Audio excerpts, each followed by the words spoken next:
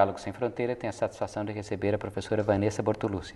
Seja bem-vinda, Vanessa. Muito obrigada, professor. Eu agradeço o convite. A Vanessa ela é formada aqui pela eh, História da Unicamp, tanto na graduação, depois mestrado, doutoramento. Depois fez pós-doutoramento na Universidade de São Paulo, no Departamento de Letras Modernas. É, ela é professora universitária, colabora aqui com o nosso Centro de História da Arte e Arqueologia, do Instituto de Filosofia e Ciências Humanas da Unicamp, portanto é uma nossa parceira, e ela é uma grande estudiosa eh, das relações entre arte e política na contemporaneidade. E esse é justamente o tema da nossa conversa hoje, professora Vanessa.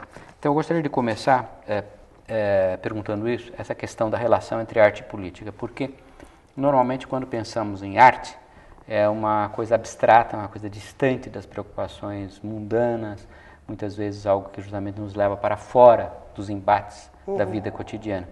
E, no entanto, a professora tem estudado justamente o imbricamento entre essas duas, esses dois aspectos da vida social, a manifestação artística e a vida política. Uhum. Exatamente. Qual é, a, qual é a relação que existe entre as duas áreas? É, é uma relação bastante complexa, não é? que possui várias nuances. Uh, a arte sempre, ao longo do tempo, tem dialogado com alguma, de alguma maneira né, com a vida social, com a vida cultural, uh, com as questões de política, de governança, não é? com ideologias. E essa, é, esse imbricamento, né, o cruzamento desses dois campos, ele tem uma série de, de camadas, não é? que às vezes podem ser mais aparentes, eh, mais fáceis de ser eh, identificadas, e outras que são mais sutis é? e que exigem aí um, uma reflexão um pouco mais aprofundada. A grande questão que envolve a arte e a política é que, em geral, né, a gente parte de um princípio de, como mesmo o senhor falou, a, a arte ela não teria uma utilidade prática. Não é?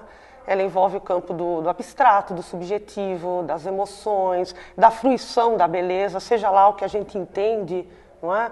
por essa ideia de beleza, que também é bastante mutável, é? ela é situada historicamente. E, é, principalmente na questão da contemporaneidade, existe o debate entre a arte é um instrumento não é, de reflexão política e se é, caso seja, não é, porque não há esta obrigatoriedade não é, no campo artístico, como que ela acontece? Não é? Quais são as gradações que podem existir entre o campo da política e o campo da arte? Agora, interessante, professora, a professora Vanessa tem um livro justamente sobre a, a arte nos regimes totalitários do século XX, né? o fascismo, o nazismo, é, comunismo. É, então, é, essa relação entre a politização da arte e regimes que se querem totalizantes, que querem fazer um novo homem, uhum. que querem fazer uma revolução uhum. na vida social de tal maneira que você faça com que o homem se transforme em algo completamente diferente. Por isso, chamados regimes totalitários. Então, eu perguntaria um pouco essa questão da é, esse aspecto da relação da arte como criadora de um novo homem, mas isso dentro de um contexto autoritário, um contexto controlado. Como é que a professora vê isso? É, no, no, caso dos regimes totalitários, né, que eu estudei, principalmente o caso do nazismo e, da, e o caso soviético, a ideia de arte está constituída é, num, num, modelo engessado, é? É, normativo. Essa arte tem que seguir estritamente uma série de normas, é?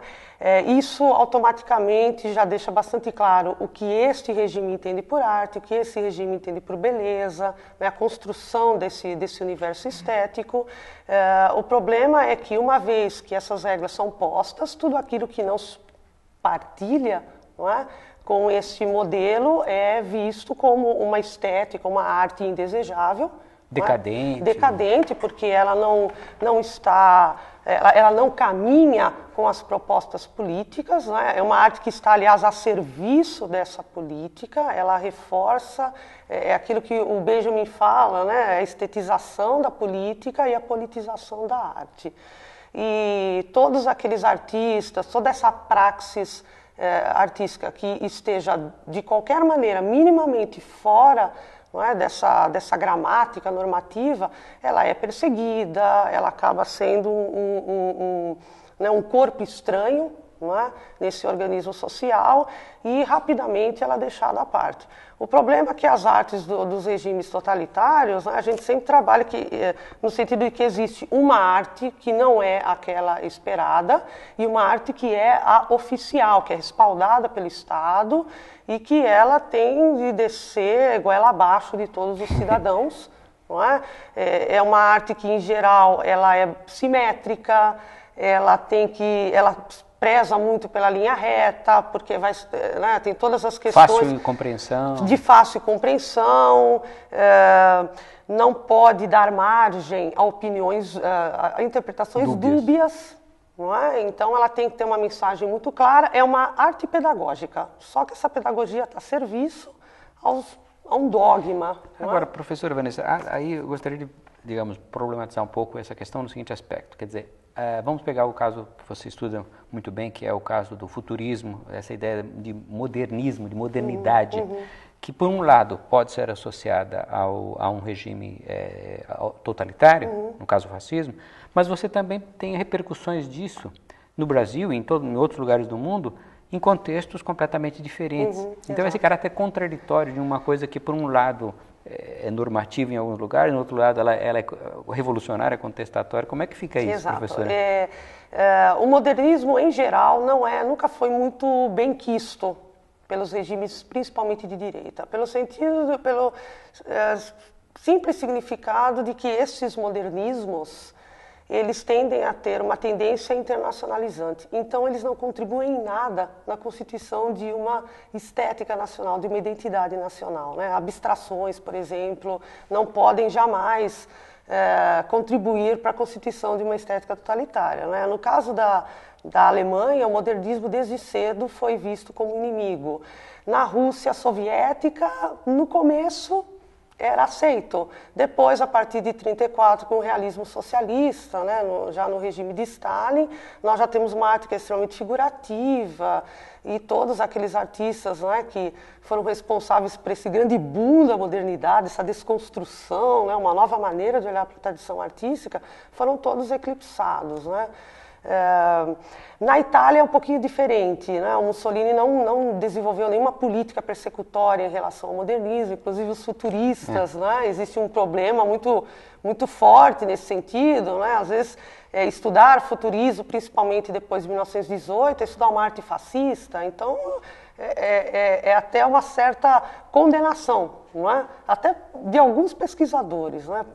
Então, é, é, esse período na história da Itália ficou bastante encoberto mesmo, acaba se transformando numa espécie de tabu, como a arte nazista, que já tem elementos né, todos constitutivos da antiguidade clássica, Roma, Esparta, Atenas, as grandes cidades-estado, ideal de beleza, não é? é? que Hitler fazia questão né, de que todos os alemães se pautassem para aquele modelo de saúde, de beleza, de higiene, de bem-estar, mas em geral o modernismo ele foi muito uh, condenado.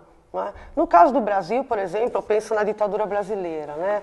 A gente, Estado Novo do Getúlio o, o Estado Novo do Vargas. 37 e 45. É, exato. E, e, e também, mas eu estou principalmente pensando na ditadura civil-militar. Né? Ah, essa é recente, é, 64 a 85. Exato, onde os artistas tiveram que realizar esta arte. É porque existe uma coisa que eu acho que é importante a gente é, sempre lembrar, que arte política não é necessariamente ter um tema político. É mais uma questão de atitude política, uhum. não é? Então, quando eu penso, por exemplo, num artista pop como Andy Warhol, que vai fazer uma serigrafia com uma garrafa de Coca-Cola, ela tem uma conotação política. Eu não consigo pensar em nenhum tipo de arte que não tenha um diálogo político em maior ou menor grau. Mas, é, voltando ao caso da, da, da nossa última, é, da ditadura a partir de 64, é, penso em artistas como Cildo Meirelles, o Arthur Barril, que é, perseguidos pelo próprio governo, porque as nossas bienais eram bienais bem oficiais, controladas pelo Estado. É? É, a saída desses artistas é fazer uma arte meio que clandestina, meio que pulverizada é? na, na, sociedade. Então, o Cildo Meirelles ele pega notas é? e carimba é? Quem matou Herzog, é, por exemplo? E as notas, as notas são postas em circulação. Ele também coloca suas pequeninas mensagens novamente em garrafas de Coca-Cola. Então era um jeito de, de fazer arte. É? Isso já é uma experiência da arte contemporânea é? mas de uma maneira até meio que é, um, certo terrorismo, né? É, para que essas mensagens e incite as pessoas a pensar. Né? Eu acho que quando a arte permite sempre uma reflexão. E nesse sentido ela tem um teor político sempre, mesmo aquele artista que vai dizer, olha, eu não faço uma arte política, né? A, a, a escolher isto também significa ter um posicionamento político. Agora, é falamos bastante de ditaduras, eh, regimes totalitários, ditadura brasileira. Agora, como a professora vê eh, o contrário, quer dizer, a partir do momento, vamos pegar o caso do Brasil, mas poderia ser outro, em geral, né? É, depois que você tem uma, uma perda da saída de uma ditadura, você tem uma arte que não está mais confrontada uhum, com isso. Uhum. Então não tem mais sentido você carimbar uhum. notas com alguma Sim. coisa. Então, fica mais sutil essa politização. Fica. Como que a professora vê fica. a politização da arte nesses ambientes, nesses contextos democráticos, um contexto no qual as pessoas podem dizer o que quiser? Uhum, uhum. Eu, eu, penso que é, seria um segundo momento, né? não mais aquela arte que está atrelada a uma militância, é? ou que represente um partido ou uma ideologia específica, mas algo mais de uma micropolítica. É? Hoje a gente tem uma arte que se descola do espaço museológico, uma arte que pode ser feita nos muros, nas calçadas, hum. utilizando o relevo urbano, é? uma arte muito mais interativa. O espectador, ele, em, na maioria dos casos, ele pode ser também um participante, ele pode dar o seu hum. contributo à obra, né? não é mais uma relação é, somente é, de, de, observar, de contemplar, não é? não é esse estado um tanto quanto passivo. É? é? Existem muitos artistas hoje que fazem esta micropolítica em questionamentos dos mais diversos. É, e aí também a introdução de temas, digamos, de comportamento, exato, ou de exato, estilo de vida, uh, diversidade. O consumo, não é? A Bárbara Kruger, por exemplo, ela trabalha com fotografias e frases. Então, quem é você no contexto do consumo? É? é, é você ama os objetos ou ama as pessoas? Então, é, é, é uma tarefa reflexiva, não é? claro, inserida no contexto do pós-modernismo, da globalização. Isso dá à arte uma, um campo muito aberto de possibilidades, não é? dos quais o museu passa a ser somente um é, do local, um, um dos locais então, da arte. É um desafio para o próprio museu também. Sem dúvida. Porque ele perde aquela centralidade que Sem tinha na, na, arte tradicional. Sem dúvida. Né? Nós, nós não estamos mais no Museu Cubo Branco. É? Agora, o próprio espaço museológico é encarado como arte é? O próprio trânsito do espectador pelo ambiente do museu também é uma atitude reflexiva, é? e, e, até a minha própria condição de visitante. É? Eu posso começar a ver a exposição do fim para o começo, por que não? A presença de performers também, pessoas que fazem performance. Exato, a... obras de arte das quais você pode levar uma espécie de souvenir, é? que tem uma caneta que você pode escrever, deixar uma mensagem.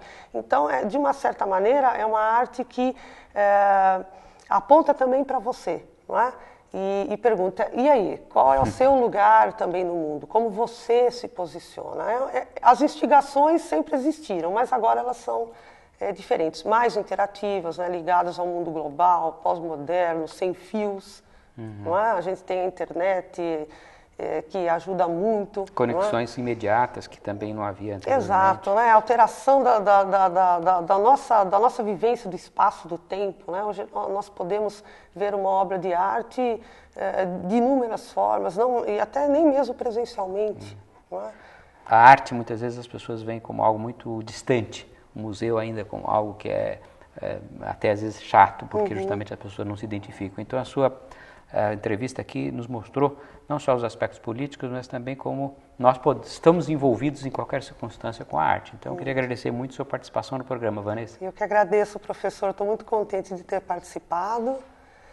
Muito obrigada mesmo pela oportunidade. Com isso, eu convido a todos ao próximo programa Diálogo Sem Fronteira.